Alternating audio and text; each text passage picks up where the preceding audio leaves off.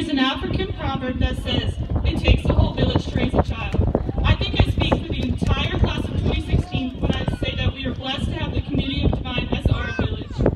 Everyone in the audience has had an impact on every single student behind me. Our families and friends, teachers, coaches, custodians, administrators, counselors, and office staff members have made our experience at DHS unforgettable. Our time here wouldn't be the same without you. There are also fans, business owners, members of our community, and churches that have helped create a wonderful environment for us to grow up in. Everyone here has had an impact on the class of 2016, and you all deserve some recognition. To our parents, thank you for dragging us out of bed, helping us with homework, listening to our seemingly never-ending drama, and being a personal ATM machine. you are our biggest cheerleaders, and honestly, we couldn't function without you. To my mom and dad, thank you for supporting be above and beyond on everything you do for me. Thank you, Press, or PP, for always being my number one fan. From the sharpshooters to the lady bus, you pushed me to realize my goals. To my friends, thank you for making me laugh until I cried, standing and playing beside me, and being there long before high school even started. We have had some unforgettable memories, and I know we have more to come. To our teachers, thank you for challenging us to learn and having the patience to deal with us day in and day out. From the class of 2016, thank you for putting up with our sneaky taco runs, never-ending questions, and for some, extreme cases of senioritis. Mm-hmm. to our coaches, thank you for teaching us lessons that we couldn't learn inside the classroom. You pushed us to our limits and made us better athletes, students, and people.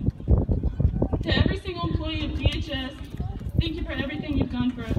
From keeping our school, clean, to cooking our lunches, to managing the many activities going on in our school, your work does not go unnoticed, and each of you has had a special part in our high school experience.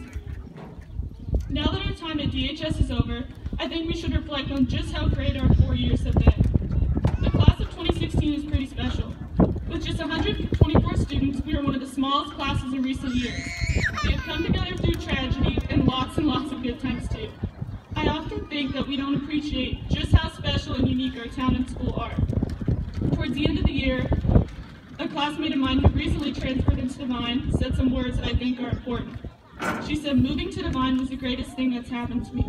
You guys don't understand how good you have it here. I think we overlook all the great things we have going on in our community and schools because we are so accustomed to it. We have become spoiled for our winning tradition inside the classroom and in all of our extracurricular activities. 2016 has had a lot to do with it. Here are just a few of the things our class has accomplished.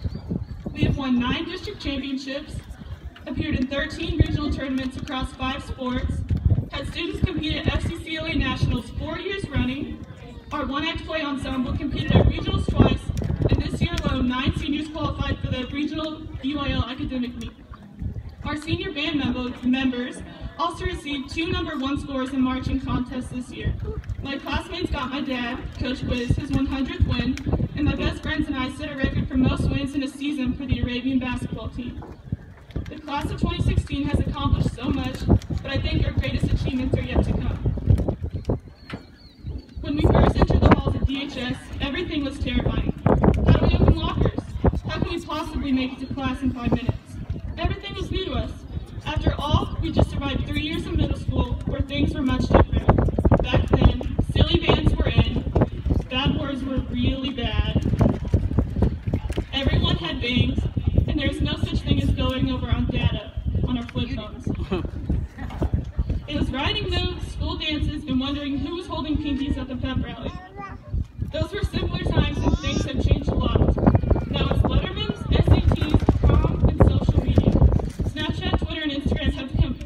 Addiction, and we have to post 24-7. And our post of choice? Selfies. We take selfies alone, we take selfies when we're out with friends, we take selfies in class, and, hold on a second, we take selfies at graduation.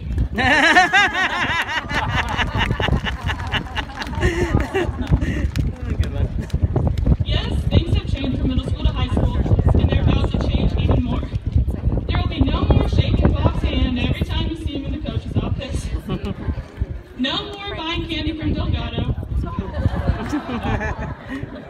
No more blocking traffic in the halls, talking to your friends or high school sweethearts. I'm sorry, Bill. and no more pretending we own school. We won't walk the halls of DHS together again, but our time here can never be taken away. We will now spend future reunions and get-togethers with our high school friends remembering these very days and talking about our mishaps, adventures, and good times. We'll think about the teachers we had, games we played, and times we spent together. Even though a lot will be changing, Devine will always be here. We can always catch a Friday night football game at Warhorse Stadium. We will always maroon and gold and despise navy blue. We will always be Warhorses and Arabians. No matter far, how far away we are or where life takes us, I-35 South will always bring us home. We will go on to do great things, and Devine will still be here waiting.